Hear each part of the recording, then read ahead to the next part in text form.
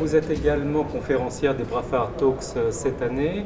Est-ce que vous pourriez nous euh, dire quelques mots du, euh, travail que, vous faites lié avec la Fondation Roi Baudouin?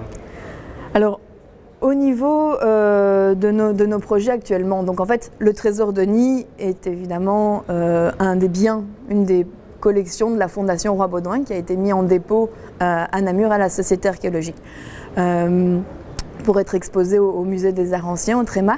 Donc moi, je travaille pour la Société archéologique et dans le cadre euh, de, mon travail, je mène un projet avec une série d'universités euh, belges, euh, Namur, Leuven notamment, et des instituts tels que l'Institut du patrimoine artistique ou l'Institut des sciences naturelles de Belgique, autour justement du trésor d'Oni, en tout cas de deux pièces du trésor d'Oni qui sont les mitres euh, dites ayant appartenu à Jacques de Vitry. Et donc on retrouve ce fameux Jacques de Vitry.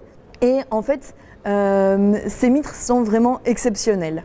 On a une mitre euh, en tissu, réalisée dans la technique de l'opus anglicanum, qui est d'ailleurs actuellement en prêt à Londres.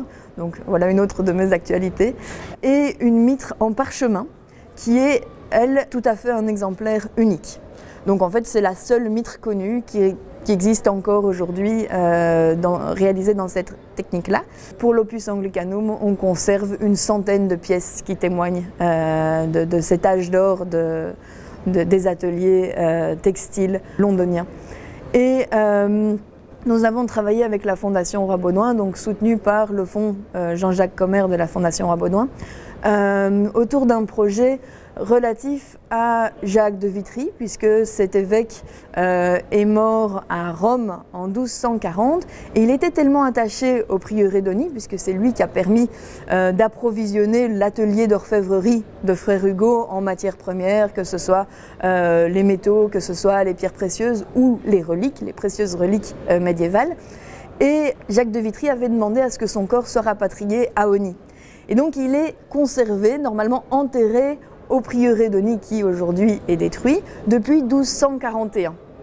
Et donc nous avons euh, exhumé en 2015, en septembre 2015, le squelette présumé de Jacques de Vitry euh, pour mener sur, euh, sur ossements une série d'analyses anthropologiques et également carbone 14, ADN. L'idée étant de pouvoir euh, prélever également des échantillons d'ADN au niveau de la mitre, enfin au niveau des deux mitres, euh, et pouvoir, en espérant pouvoir justement obtenir un croisement et euh, apporter enfin la preuve que ces mitres sont bien celles de Jacques de Vitry, ont bien été portées par Jacques de Vitry.